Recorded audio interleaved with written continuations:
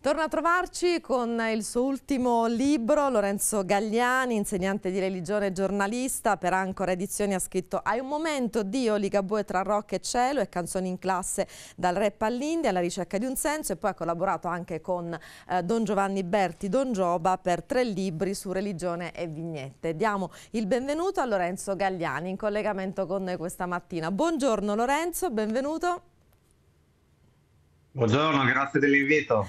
Allora, partiamo, proprio parliamo del tuo ultimo libro, Il caso non esiste, Kung Fu Panda tra fede e ravioli, ancora edizioni. Allora, eh, domanda d'obbligo, qui con me in studio c'è Leonardo che appunto ha visto Kung Fu, l'ha visto anche eh, suo figlio, però per chi non lo conoscesse come la sottoscritta, in maniera sintetica, puoi raccontarci eh, di questo fenomeno cinematografico che è, che è stato Kung Fu Panda? Eh, partiamo dal 2008 da Kung Fu Panda 1. Eh, il protagonista è un panda po' piuttosto rilassato, goloso, mangione e appassionato di Kung Fu e viene inspiegabilmente scelto come guerriero dragone, ossia come difensore del villaggio davanti ai nemici che, che arriveranno e si gioca anzitutto appunto su questo contrasto tra il kung fu eh, che richiede abilità, eh, velocità, intelligenza, forza e appunto un personaggio che sembra assolutamente inadatto ma che invece non lo è affatto.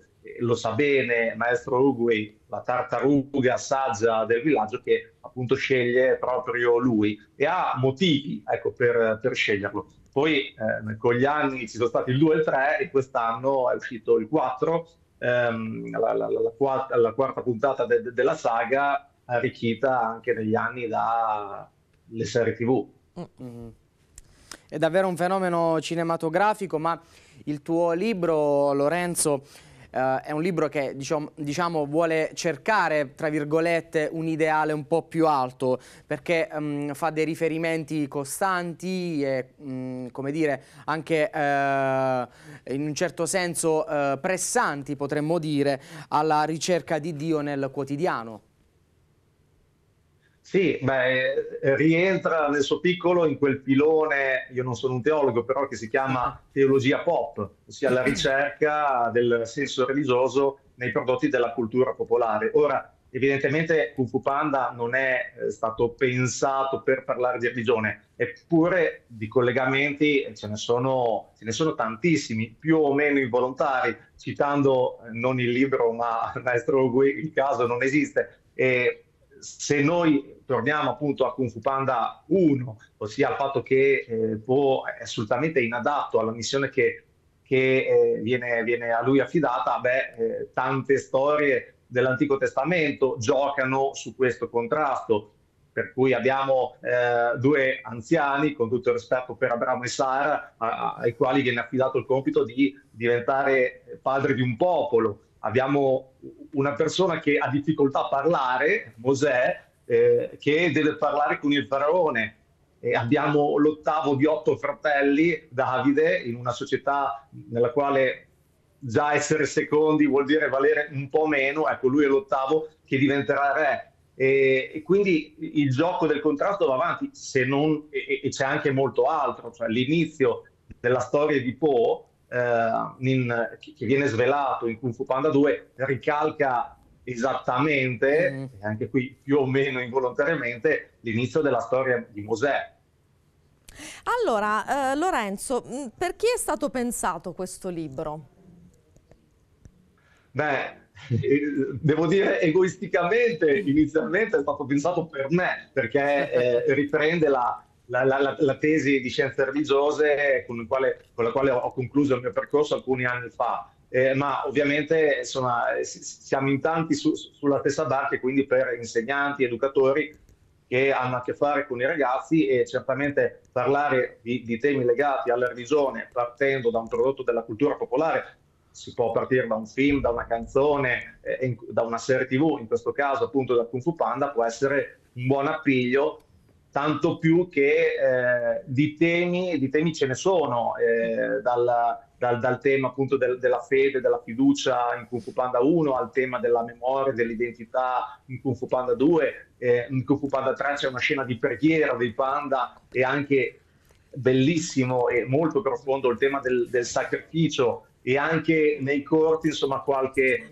qualche spunto per, per parlare insomma di, di, di temi non, non banali, ce ne sono, adesso tra poco andrò a scuola e ah, in una ecco. seconda parleremo de- delle virtù utilizzando come pretesto il cortometraggio sulle virtù dei cinque cicloni, sulle loro storie che hanno, insomma, i cinque cicloni sono cinque guerrieri, cinque maestri di, di, di, Kung Fu che accompagnano Po nelle sue avventure, ecco, hanno avuto un'infanzia non semplicissima, quindi sono arrivati dove, dove sono arrivati, però grazie all'impegno, grazie al sacrificio e soprattutto grazie a qualcuno che ha creduto in loro anche nel momento in cui eh, nessuno avrebbe, avrebbe puntato un centesimo. Ecco, eh, magari i nostri amici telespettatori si stanno chiedendo ma perché non, grazie, perché non state facendo vedere delle immagini di questo cartone del quale state parlando, ma purtroppo perché insomma, come dire, ci sono diritti cinematografici che vanno oltre le nostre tasche, insomma, quindi ma a parte questo ci siamo appunto, cercheremo ecco, di immaginare o magari terminata questa intervista i nostri amici digiteranno su Google Kung Fu Panda, forse andranno a vederlo al cinema. Sì, tra l'altro è molto interessante, come diceva anche Lorenzo, questo filone no, della teologia pop che in qualche maniera vuole anche avvicinare attraverso il linguaggio nuovo dell'arte cinematografica, comunque anche della musica o dei reel su TikTok, ma qui poi apriremo ovviamente anche Lorenzo penso un uh, filone immenso perché ovviamente anche qui ci sono i pro e i contro. E allora quello che vorrei chiederti, mh, mm, perché secondo te è utile parlare attraverso questi strumenti, attraverso anche queste storie che mh, mm, sono anche uh, completamente diverse rispetto a quelle a cui sono abituati i nostri ragazzi in parrocchia o comunque a scuola durante uh, l'ora di religione?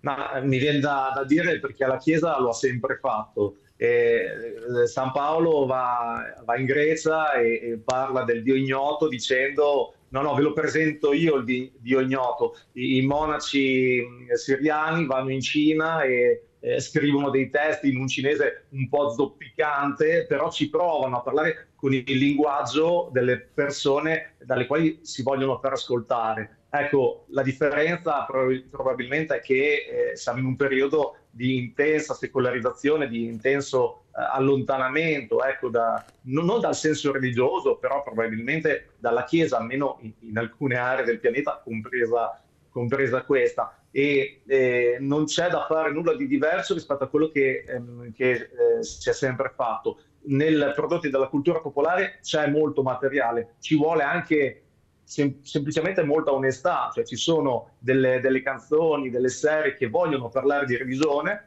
e faccio un esempio giocando in casa, eh, hai un momento Dio di Ligabue, mm-hmm. ci sono eh, altri casi come Kung Fu Panda dove eh, certo non è fatto per parlare di religione, però si parla di, di, di vita, di amore, di relazione, eh, di sacrificio e perché lasciarle da parte? Insomma, forse ogni tanto bisognerebbe scendere dal piedistallo e rendersi conto che l'aria che respirano i nostri giovani non, so, non, non è così eh, del tutto inquinata. Poi un discorso a parte riguarda l'utilizzo di eh, nuovi linguaggi eh, e qui insomma bisogna esatto. rendersi conto un po' se siamo capaci o meno di utilizzarlo mm-hmm. perché il rischio di fare le figuracce è enorme. Mm. C'è da dire invece sui primi punti, sul, sull'incontro con eh, il, i prodotti della cultura popolare, io gioco in casa da, da, da bolognese perché qui da noi c'è il professore Brunetto Salvarani che è un precursore della teologia pop a partire dai libri su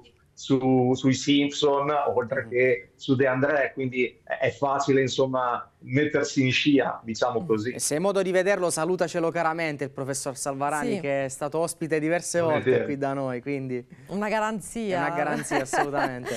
allora, Lorenzo, in conclusione, eh, perché tra un po' dobbiamo lasciarti andare che ti aspettano a scuola, però eh, riprendo una domanda con la quale tu concludi il libro, che è questa: la Chiesa crede nei giovani, te la rilancio.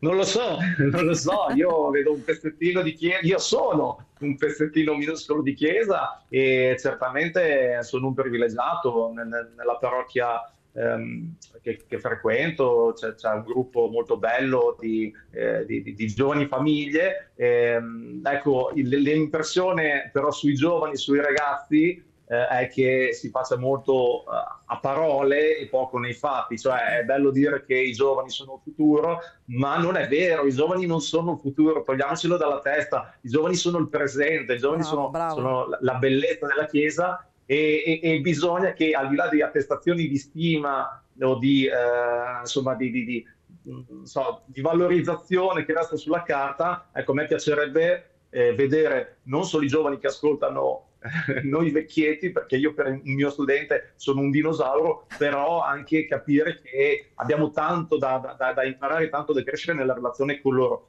In senso pratico, davvero, con cose da fare, con cose da dirci, che ne hanno tante, altrimenti se le mettiamo nel refrigeratore, beh, loro non ci cascano e, e, vanno sicuramente a cercare altro, perché hanno bisogno di, di, di farsi vedere, hanno bisogno di dire e, e noi abbiamo bisogno di loro e sono sempre meno. Certo. Ecco, però grazie per diciamo, l'ottimismo con il quale, ma anche il realismo con il quale hai, ehm, hai aggiunto, hai, hai, condito appunto queste tue eh, riflessioni. Intanto ricordiamo il libro di Lorenzo Gagliani, edito da Ancora, Il caso non esiste, Kung Fu Panda tra fede e ravioli, ma possiamo ritrovare anche altri libri, sempre per Ancora Edizioni di eh, Lorenzo, ecco, anche molto belli quelli di cui abbiamo parlato tempo fa, eh, scritti con eh, Don Gioba, Don Giovanni Berti, mm. la, nella, vignetta, eh, del, nella, vignetta, del, Signore, sì, le vignette del Signore sono infinite, poi anche Don Gioba è una garanzia. allora, sì, decisamente. Grazie, grazie Lorenzo per essere stato con noi. Grazie torna, a voi. Torna a trovarci quando vuoi, anche in collegamento. Ti aspettiamo per il tuo prossimo libro. Grazie, grazie a voi. Ciao. Grazie, grazie mille a Lorenzo Galliani. Noi ora ci fermiamo per la pubblicità e poi ancora insieme.